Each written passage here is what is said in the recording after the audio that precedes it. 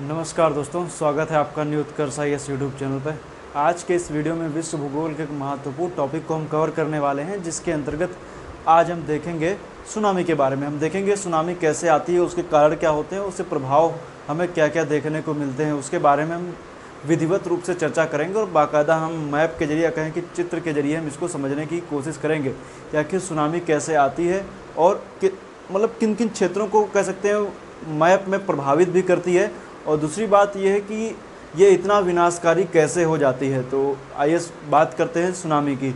तो सुनामी की शब्द की मैं उप, बात करूँ तो सुनामी जो शब्द है वो जापानी भाषा से आया हुआ है मतलब जापानी शब्द है जिसका मतलब होता है दो शब्दों से मिलकर के बना है एक है सु और दूसरा है नामी।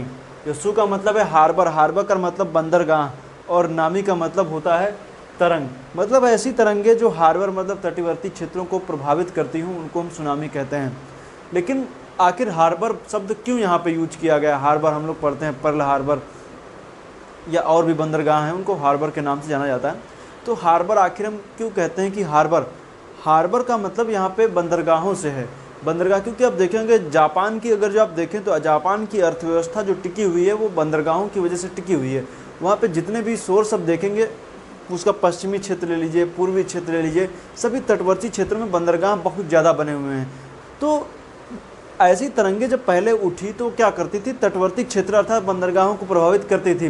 तो बंदरगाहों को प्रभावित करती थी तो उनका नाम रख दिया गया, सुनामी। तो ऐसी मतलब कि ऐसी तरंगे जो प्रभावित किसको करती हों? बंदरगाहों को मतलब तटवर्ती क्षेत्रों को प्रभावित करती हूँ। इसलिए उनका नाम क्या रख दिया गया? सुनामी रख दिया गया। तो लेकिन ये तो बात हो गई, लेकिन अगर हम वास्तव में बात करें, सुनामी आखिर होती क्या है तो सुनामी दरअसल एक सागरी तरंगे हैं। सुनामी क्या है? एक सागरी तरंगे हैं, जिनकी उत्पत्ति भूकंप से, ज्वालामुखी से और किसी हिमखंड के समंदर में गिरने से और भी अन्य कारणों से हो सकती है। जैसे उल्का पिंड से भी हो सकती है। तो आखिर सुनामी उत्पन्न कैसे होती है, उसको हम आइए समझने की कोशिश करते हैं। सबसे पहले हम सुनामी को मैं बता दूँ कि इसके कारणों पे हम चर्चा करेंगे। सुनामी आती कैसे है? तो सुनामी के दो कारण होते हैं। एक प्राकृतिक, दूसरा मानवीय। तो प्राकृतिक कारण वे कारण हैं जो प्रकृति के द्वारा कह सकते हैं कि मनुष्य के बस में नहीं है, उनसे आते हों। जैसे भूकंप, ज्वालामुखी, हिमखंड उल्का पिंड अगर जो कोई भूकंप किसी भी समुद्री क्षेत्र में आता है तो समुद्री क्षेत्र में आए हुए भूकंप से क्या होता है कि जब भूकंप आता है तो समंदर का जो पानी होता है वो ऊपर की ओर उठ जाता है। जब ऊपर की ओर उठता है तो अपने उसी अवस्था को प्राप्त करने के लिए, जिस अवस्था में पहले था, नीचे की ओर गिरता है। तो नीचे उठता है तो तरंगे उठ जाती हैं और एक गोलाकार में महासागर के चारों ओर फैलना शुरू कर जाती हैं। तो कहने का मतलब ये है कि महासागर के चारों ओर फैलना जब शुरू हो जाती हैं ये कुछ इस भांति होता है कि जैसे आप कोई पत्थर लीजिए और पानी में फेंक दीजिए। जब पानी में पत्थर फेंकते तो देखिए, चारों तरफ़ से गोलाकार में धाराएँ चलना शुरू हो जाती हैं। बिल्कुल उसी तरीके से धाराएँ जो होती हैं, जो तरंगे होती हैं, वो चलना शुरू हो जाती हैं महासागरों में। वैसे तो इनकी मैं बात करूँ तो तटवर्ती क्षेत्रों में तो ये प्रभावित करते हैं। लेकिन जब महासागर के मध्यवर्ती गहराई में आप देखेंगे तो इनका कोई प्रभाव हमें देखने को नहीं मिलता है। लेकिन जैसे जैसे ये लहरें तट के पास चलती चली जाती हैं, बहुत तेज़ी से ऊपर उठती हैं, कैसे उठती मैं आगे भी इस चित्र के माध्यम से आपको बताने की कोशिश करूँगा। तो जैसे वो ऊपर उठती हैं, काफ़ी ज़्यादा क्षेत्र को प्रभावित कर देती हैं। तो एक सबसे ज़्यादा जो सुनामी आती हैं, वो भूकंप की वजह से ही आती हैं। दूसरा कारण है ज्वालामुखी। अगर जो किसी महासागरीय क्षेत्र में ज्वालामुखी आ जाता है तो उससे क्या होता है? वहाँ पे ज्वालामुखी से निकला लावा जब महासागरों में गिरता है तो उससे क्या होता है? तरंग सी पनपती है। जैसे एग्ज़ाम्पल के तौर पर आप क्राका ताओ को ले सकते हैं। क्राका ताओ एक जो ज्वालामुखी है, वो काफ़ी सक्रिय और समुद्री क्षेत्र के पास में स्थित है। इसलिए वहाँ पे जब भी कभी ज्वालामुखी फटता है तो आसपास सुनामी के अलर्ट जारी कर दिए जाते हैं। अभी हाल ही में कुछ दिन पहले इंडोनेशिया में ऐसी कंडीशन हमें देखने को मिली थी। बाकी की अगर जो बात करें तो भूमध्य सागर भी इसमें कुछ पीछे नहीं है। वहाँ भी क्या कह सकते हैं कि एक मियानी सभ्यता थी, वहाँ पे मिस्र की 1490 ईसा पूर्व की मैं बात करूँ तो वहाँ पे एक सभ्यता हुआ करती थी। कहते हैं कि वहाँ पे जो एजियन सागर है, वहाँ पे एक ज्वालामुखी का विस्फोट होता है और उस ज्वालामुखी के विस्फोट की वजह से क्या हुआ कि वो सभ्यता पूरी तरीके से नष्ट हो गई, क्योंकि ज्वालामुखी के विस्फोट की वजह से सुनामी आ गई और सुनामी से क्या हुआ? पूरी पूरी सभ्यता ही नष्ट हो गई। तो कहने का मतलब ये है कि भूकंप हो गया, ज्वालामुखी हो गया, एक हिमखंड है। अगर जो आप किसी उत्तरी उत्तरी ध्रुवी या कहें कि आर्कटिक सर्कल के आसपास के देशों की ओर रुख करें। चाहे आप एग्ज़ाम्पल के तौर पे आप नॉर्वे को ले लीजिए या एग्ज़ाम्पल के तौर पे आप कनाडा को ले लीजिए या फिर आप ले लीजिए ग्रीनलैंड को। तो इन क्षेत्रों में बड़े बड़े हिमखंड हैं। अगर जो, जैसे ग्लोबल वार्मिंग की समस्या बढ़ती चली जा रही है, जैसे हिमखंड वगैरह टूट के समंदर में गिरते हैं तो उससे क्या होता है? सुनामी आ सकती है। तो कहने का मतलब ये है कि सुनामी के वो क्षेत्र हो सकते हैं। वो भी एक कारण है। कौन सा? हिमखंड। दरअसल हम जो भी ये चीज़ें पढ़ रहे हैं उल्का पिंड को देख लेते हैं, फिर इसमें थोड़ा सा और डीप थोड़ा घुसने की कोशिश करते हैं, आखिर और अच्छे से समझने की कोशिश करते हैं। उल्का पिंड, जब कोई उल्का पिंड भी किसी महासागरीय क्षेत्र में गिर जाता है तो जब उल्का पिंड गिरेगा तो उसी तरीके से लहरें उठेंगी, तरंगे उठेंगी, जैसे हम कोई पत्थर उसमें फेंक देते हैं। तो पत्थर फेंकते हैं तो क्या होता है कि पत्थर फेंकने से तरंगे उठती, वैसे उल्का पिंड के गिरने से भी उठेंगी और जो कह सकते हैं कि सुनामी वहाँ पर आएगी। दूसरा, मैं बात करूँ, मैं बात तो मैंने बता दी, भूकंप है, ज्वालामुखी है, हिमखंड है, उल्का पिंड है, इसमें कोई मानवीय हस्तक्षेप आपको दिख रहा है? आप थोड़ा सा गौर कीजिए कि जो ये आए हुए प्राकृतिक, मैंने जिनको कारण प्राकृतिक बताए हैं, इसमें क्या मानवीय गतिविधियाँ शामिल हो सकती हैं कि नहीं हो सकती हैं? तो हो सकती हैं। कैसे होंगी? आइए देखते हैं। जैसे मान लीजिए मैंने बताया हिमखंड हिमखंड जैसल सीधी बात है कि अगर जो आप किसी हिमखंड वाले कह सकते हैं कि ग्लोबल वार्मिंग समस्या जो आजकल के दौर में बढ़ती चली जा रही है, इसमें मानवीय हस्तक्षेप तो सीधे जिम्मेदार ही है डायरेक्ट नहीं तो इनडायरेक्ट तरीके से ही इसमें मानवीय हस्तक्षेप जिम्मेदार हैं। तो ये चीज़ आप समझ सकते हैं कि ये जो हिमखंड वाला सेक्शन है, इसमें हम कह सकते हैं कि इसमें मानवीय हस्तक्षेप जिम्मेदार हैं। इस, क्योंकि इसमें क्या होगा कि जब कोई हिमखंड उसमें टूट के गिरेगा तो वो कहीं ना कहीं ग्लेशियर के पिघलना हम कह सकते हैं कि कुछ ना कुछ इसमें पार्टीशन मनुष्य का रहता है। दूसरा एक इसमें कारण और भी हो सकता है, जिसको हम बोल सकते हैं भूस्खलन। लैंडस्लाइड ये भी वैसे तो कह सकते हैं कि जब अधिक वर्षा हो जाती है तो लैंडस्लाइड वगैरह आना एक स्वाभाविक सी बात है। लेकिन जब कभी कभी आप देखें, मानवीय हस्तक्षेप भी इसके लिए जिम्मेदार हो सकते हैं, वैसे तो हम इसको प्राकृतिक के अंतर्गत ही रखेंगे, लेकिन इसमें मनुष्य का भी योगदान ठूस ठूस कर भरा हुआ है। कैसे योगदान है, आइए उसको समझते हैं। दरअसल तटीय क्षेत्रों में आज, जैसे आप जान रहे हैं, वर्तमान में एक भारत देश के अलावा भी, भारत में तो खैर ही समस्या, बढ़ती हुई जनसंख्या एक बहुत बड़ी समस्या है।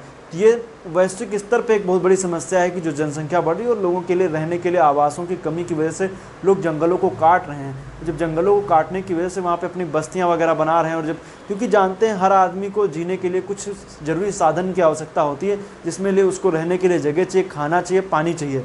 खाने के लिए वो क्या करेगा? सीधी बात है, जंगल से वो अब एक मानवीय जीवन एक कुशल जीवन जीने के लिए लोग क्या करेंगे? जंगलों में तो रहना पसंद नहीं करेंगे। वो क्या करेंगे? जंगलों को काट के अपनी बस्तियाँ बना लेंगे।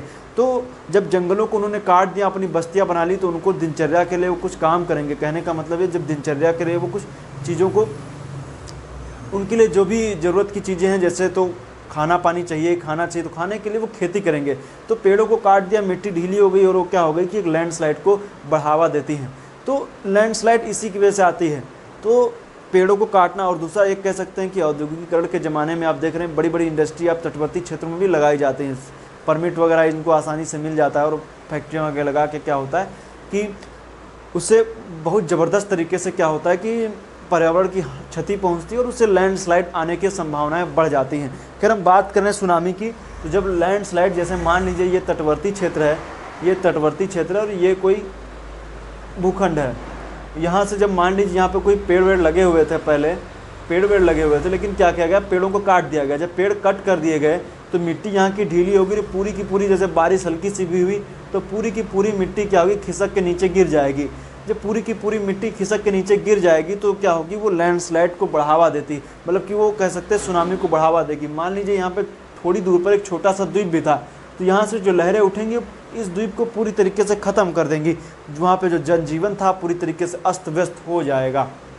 तो कहने का मतलब यह था, ये तो थे सब, जितने भी कारण थे, प्राकृतिक है, मानवीय भी इसमें कह सकते हैं जिम्मेदार है। लेकिन आइए समझते हैं, जो मानवीय मुख्य रूप से कारण हैं, वो हैं, परमाणु परीक्षण। आप हाल ही में देखते रहते होंगे, कुछ समुद्री क्षेत्रों में परमाणु परीक्षण वगैरह किए जाते हैं। फ्रांस ने परमाणु परीक्षण कुछ टाइम पहले किया था तो कहने का मतलब ये कि जो परमाणु परीक्षण जब समुद्री क्षेत्र में किए जाते हैं तो उनसे खूब ज़बरदस्त तरीके से लहरें उठती हैं।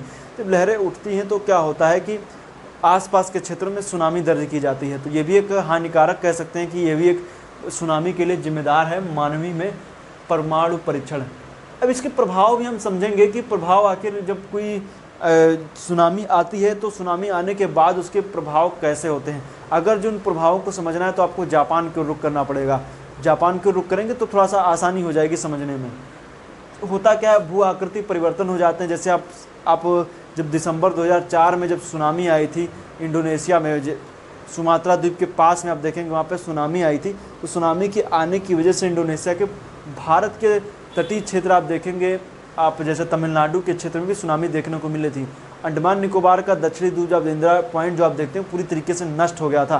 तो कहने का मतलब ये है कि उसमें बहुत से द्वीप वगैरह जो होते हैं पूरी तरीके से नष्ट हो जाते हैं भू आकृतिक परिवर्तन हमें देखने को मिलता है। जनधन की हानि तो होती ही है जापान आप समझ रहे हैं जब जापान में सुनामी आई तो जापान ही पूरी अच्छे तरीके से तहस नहस हो गया था। इंडोनेशिया में आई हुई सुनामी से भी आप देखेंगे कि ज़बरदस्त तरीके से वहाँ पे हानि हुई थी। तो जनधन की हानि तो होती ही है। फिर है उपजाऊ मिट्टी का ह्रास जब आप जानते हैं कि, कि जब सुनामी आती तो उसमें उसका पानी तो खारा ही होता है। जब खारा पानी पृथ्वी के मतलब कि भूखंड के अंदर प्रवेश करता है तो आसपास की मृदा को क्या कर देता पूरी तरीके से खारा कर देता तो आ, वहाँ पे कृषि योग्य भूमि बिल्कुल ना के बराबर हो जाती है। उसकी मिट्टी की गुणवत्ता पूरी तरीके से छिन्न भिन्न सी हो जाती है। उससे क्या होता है? उपजाऊ मिट्टी का ह्रास होता है। फिर तटीय वनस्पति का ह्रास। तटीय वनस्पतियों में अगर जो आप देखेंगे तो आपको वहाँ पे आपको तटीय वनस्पतियों में आप मैनग्रोव देख सकते हैं। मैनग्रोव के बाद आप वहाँ पे और भी जैसे वनस्पतियों में नारियल वगैरह देख सकते हैं कि नारियल के पेड़ों को ज़्यादा नुकसान तो नहीं होता, लेकिन हो जाता है। मैनग्रोव को हम मानते हैं कि ये समंदर के विस्तार को रोकने का काम करते हैं, लेकिन ये भी सुनामी के आने की वजह से ये भी बहुत ही बौने नज़र आते हैं। जब सुनामी आती तो मैनग्रोव वगैरह पूरी वनस्पतियों को बहा के लेके चले जाती हैं। तो इससे क्या होता है कि तटीय वनस्पतियों को उनमें आश्रय जो होता है वो पूरी तरीके से प्रभावित हो जाता है। इस और हम एक कारण में हम ले सकते हैं कि नदी के डेल्टा में परिवर्तन हो जाता है। जब सुनामी आती तो नदियों के जो डेल्टा है, उस क्षेत्र में अगर जब नदी बह रही है तो सीधी बात है, अगर सुनामी आएगी तो नदी की धारा को भी चेंज कर सकती है। तो उसका डेल्टा का क्षेत्र पूरी तरीके से बदल जाता है और हम बात करें, समुद्री जीवन भी पूरी तरीके से अस्त व्यस्त हो जाता है। फिर मैं बात करूँ, और भी बहुत से कारण हो सकते हैं, आप इनको समझिएगा। तो एक्वा कल्चर जिसका या हम कहें कि जो समुद्र में खेती वगैरह की जाती है तो उसको भी पूरी तरीके से क्या होता है, प्रभावित हो जाता है। ये हम कह सकते हैं कि इसके प्रभाव हैं। फिर अब आइए समझते हैं भूकंप आते कैसे हैं। ज्वालामुखी मैंने बता तो दिए कि कारण है, लेकिन इनको एक मैप के ज़रिए समझने की कोशिश करते हैं कि आखिर आते कैसे हैं।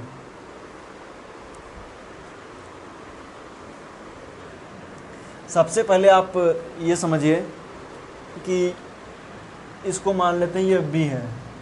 ये ए है सॉरी इसको ए मानते हैं। जानते हैं कि जैसल पृथ्वी के नीचे प्लेटें स्थित है। मैंने बताया था कि टेट्रॉनिक प्लेट में कि नीचे क्या है?